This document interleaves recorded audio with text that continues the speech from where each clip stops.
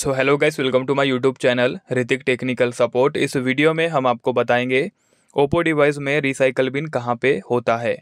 ठीक है? Video start करने से पहले आप लोग हमारे यूट्यूब चैनल को सब्सक्राइब कर लीजिएगा बिल के आइकन को प्रेस कर लेना है।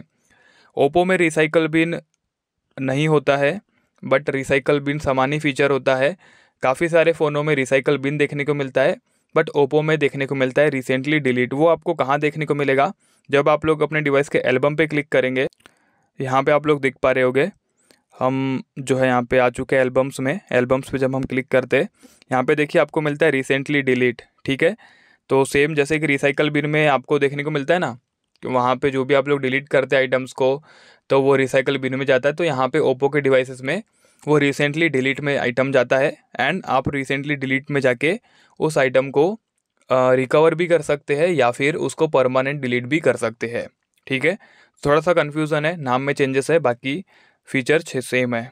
ठीक है? सो टॉपिक इस कवर मिलते हैं नेक्स्ट वीडियो में। जय माता दी।